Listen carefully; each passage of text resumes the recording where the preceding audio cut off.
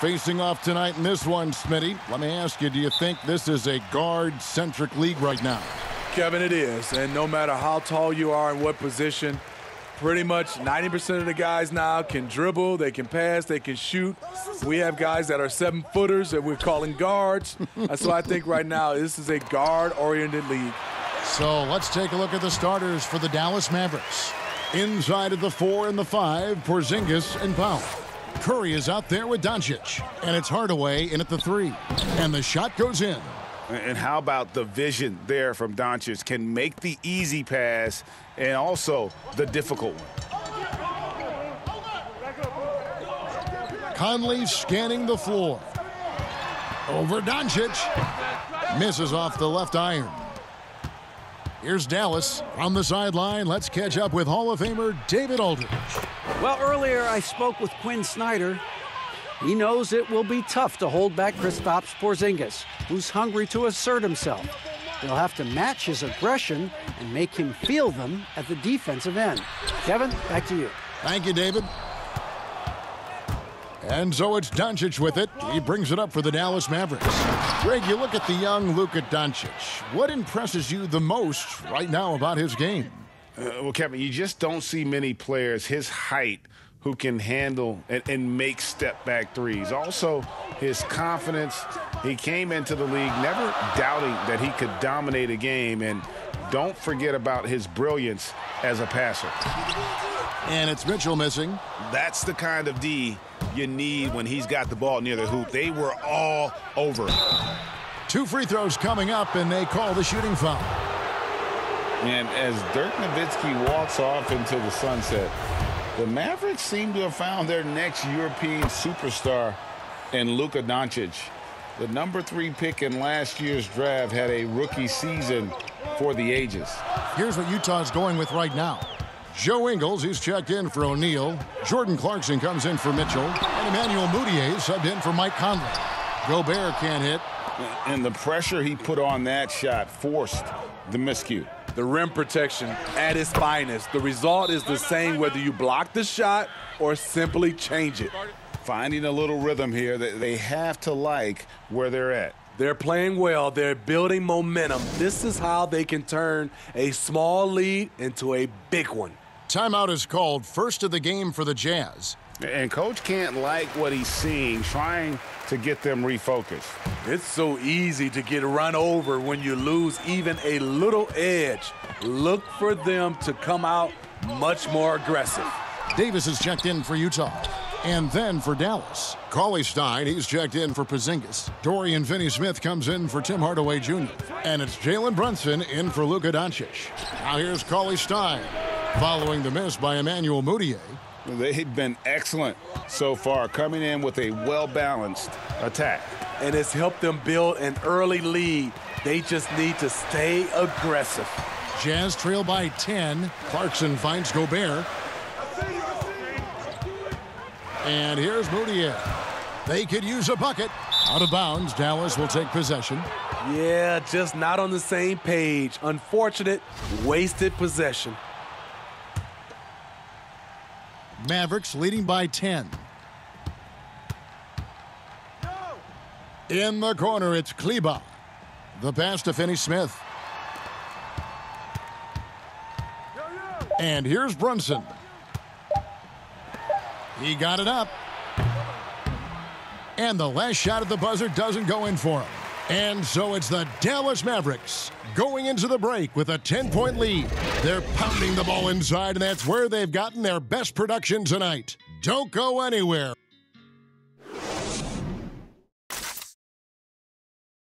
One of the better two-way guards in the NBA, Mike Conley said his inspiration. He's one of my favorite players growing up. Um, and you know, Conley, maybe not the size of Payton, but Greg, he's always taken the challenge defensively. And you can see how much of an influence the glove had on Conley. He plays a lot like him on that end. And glad to have you with us, folks. Second quarter of basketball. This game has not exactly been neck and neck, but plenty of time left in this one. And let's quickly break down the game we've seen here, guys, from the Mavericks. aggressive at running guys to the backboard. You could tell it was part of their game plan coming in. And they have the guys to do it. Play to your strengths, and they can make up for some of your weaknesses. On the court for Dallas here in the second, Jalen Brunson out there with Wright. Then there's Cauley Stein, and it's Finney Smith in at the three, the small forward. Never a bad idea to run the old pick play. Uh-uh, you're right. And if it produces a slam like that, we'll probably see more of them. Especially if the defense is going to allow you to do it. Have to switch on that play. Here's what Utah's going with right now. Bogdanovic, he's checked in for Gobert. Royce O'Neale comes in for Joe Ingles. Mitchell, he's checked in for Clarkson. And it's Mike Conley in for Mudiay. Okay, well, let's check in with David Aldridge, who's reporting from the sidelines. Well, there is a lot of optimism in Dallas for the tandem of Luka Doncic and Kristaps Porzingis. Porzingis said, "We clicked right away. We're both European players, similar roots, both speak Spanish. That'll translate on the court. We can be something special." Kevin, look out for them to compliment and criticize one another in a different tongue.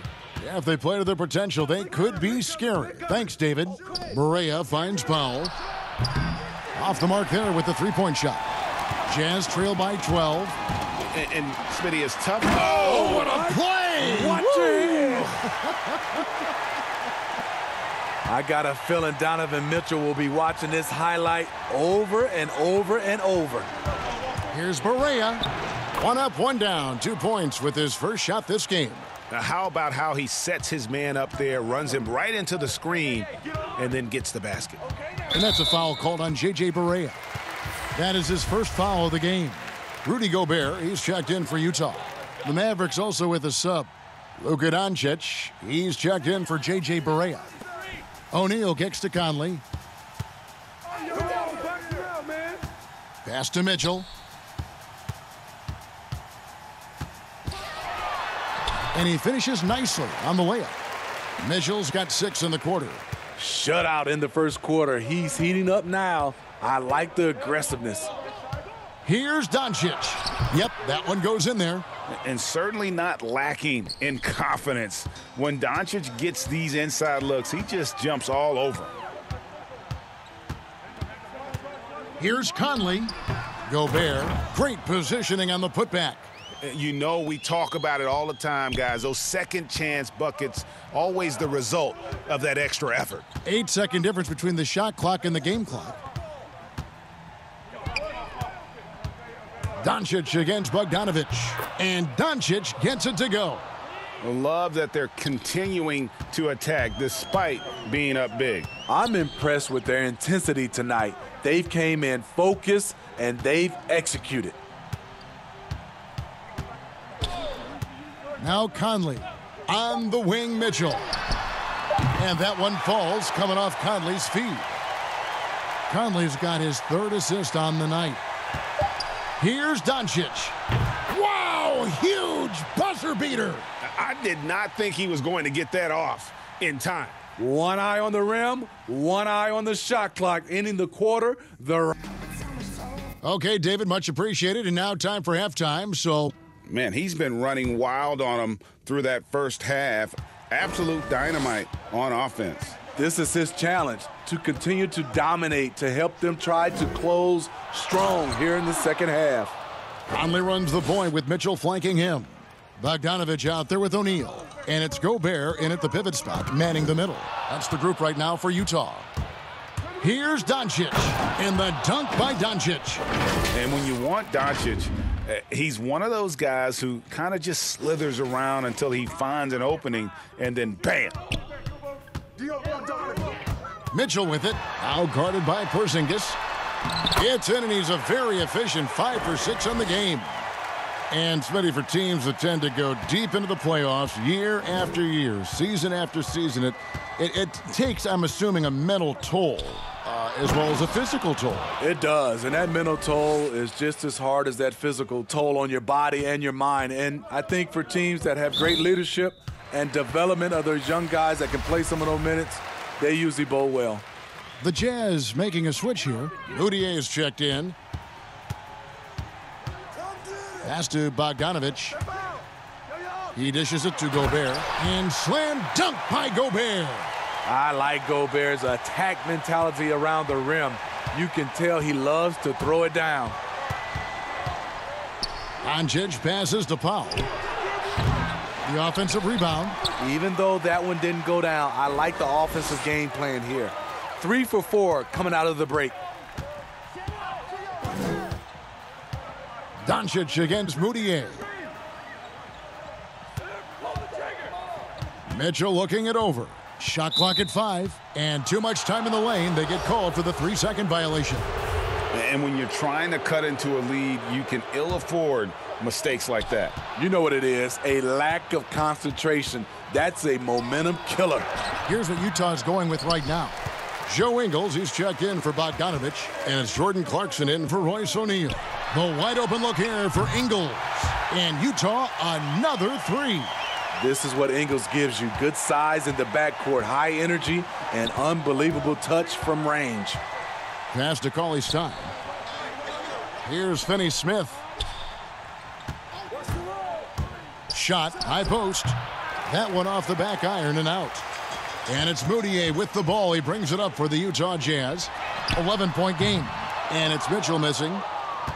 For Dallas, they've gone 3 of 6 in the third quarter, 50% from the field. Cauley Stein finds Brunson. Some nice passing here by Dallas. 27 seconds left in the third quarter of the game. Cauley Stein passes to Kleber. That's no good. Couldn't get his first shot to go.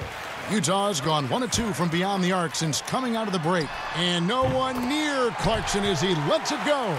He gets it to fall. That makes it just a single digit lead. Stolen by Clarkson. Pulls up for three. And that one released in time, but no good. And so it's Dallas. Holding on to an eight-point lead heading into the break. Shooting the ball so well in this one. A great performance from the field. We've got more NBA basketball coming your way in just a minute.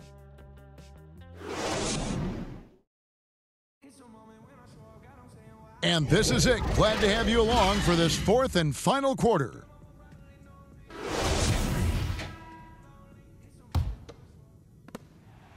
Jazz trail by eight. All fueled up and ready to go. Let's reset the lineups courtesy of Gatorade for the fourth quarter. On the court for the Mavericks. They've got J.J. Barea. Also, DeLon Wright is out there. And it's Cauley Stein in at the center, locking down the middle. Count it.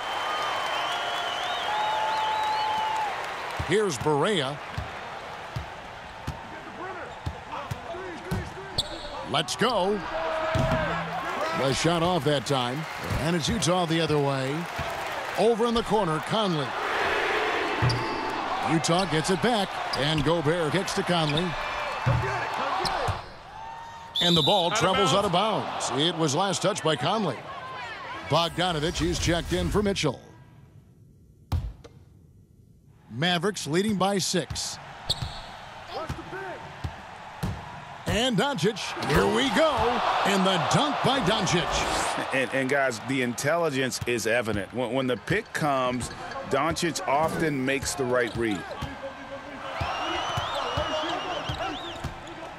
A few possessions into the fourth quarter, just over a minute played. It's blocked. Porzingis with the ball. That's good from Doncic on the assist by Porzingis. And it's a 10-point Dallas lead. And it just seems when Doncic turns it on, it's a sight to see. Incredible at scoring in a variety of ways. Conley against Doncic. Gobert. The Mavericks pull it in. Powell's got his fourth rebound with that last one here tonight.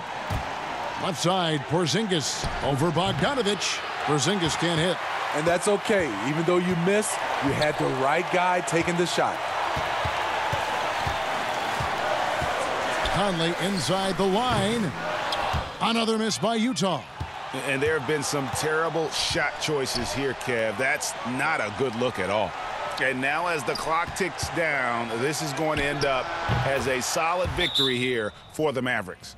What do you think was the deciding factor in this one?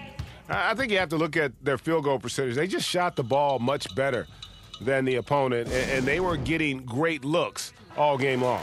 And we watched one guy all night long, guys, and look at the stats just confirms what a dominant game he had. What a night tonight it was for Luka Doncic. I thought he did a good job of filling out the defense early on. Then once he found his groove, he stayed aggressive throughout. Donovan Mitchell's checked in for Jordan Clarkson. The Mavericks have gone 3 of 5 here in the fourth quarter. Pretty good numbers coming out of the break. Here's Doncic. Off target from three-point range. And even with good coverage defensively that time, he has confidence to drill the three. He just doesn't look like himself this quarter. Something's missing. And it also shows you how difficult this game is. He's just a little bit off, but it can result in missing everything. Six second difference between the shot and game clock. Another miss by Utah.